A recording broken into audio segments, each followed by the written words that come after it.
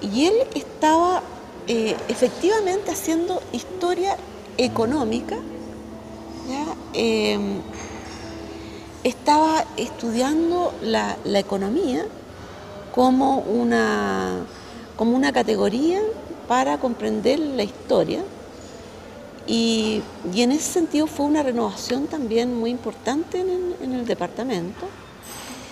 Eh, y ahí él sacó libros muy importantes sobre el comercio colonial y, demostraba cómo efectivamente eh, la categoría económica era capaz también de, eh, tenía una tremenda fuerza explicativa de la historia. pero perfectamente, digamos, la Escuela de los Anales, o sea, tenía como objetivo estudiar la estructura, y la estructura era la, economía, pero no con un énfasis como el marxismo que la estudiaba como relaciones sociales de producción. Estas eran, digamos, eh, digamos eh, la economía como una actividad de, producción, consumo, intercambio, todo lo que era, se estudiaba mucho a nivel especialmente del mercado.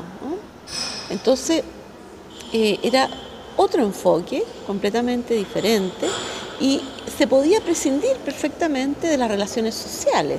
¿ah? Eso, la economía, la historia de los anales puede hacer eso, o sea, tiene una tremenda fuerza explicativa, pero puede prescindir de eh, el estudio de, de las relaciones sociales, y por lo tanto de, la estructuración del orden social.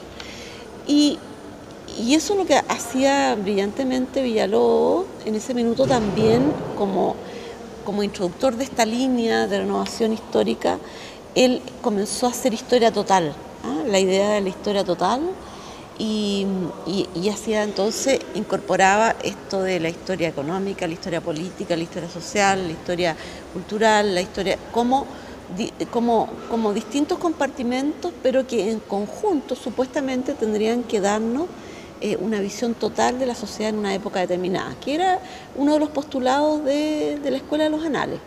Entonces, él en ese minuto estaba enseñándonos una, línea historiográfica también eh, bastante renovada para la, escuela, para la escuela de la, de la pontificia.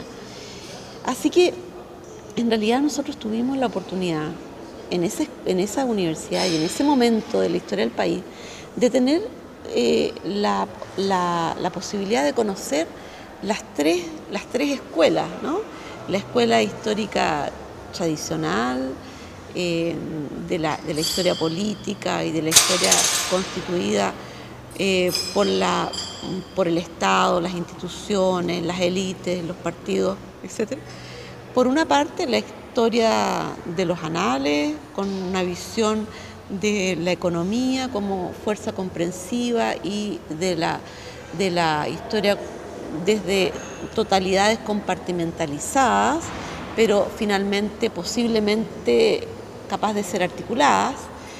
Y por otra parte, eh, una, historiografía eh, de matriz marxista eh, revisada. Mm, yo no tuve una escuela marxista clásica, digamos, o sea, ortodoxa. Entonces, fue una, escuela muy interesante por la confluencia de esos tres, de esos tres mundos interpretativos.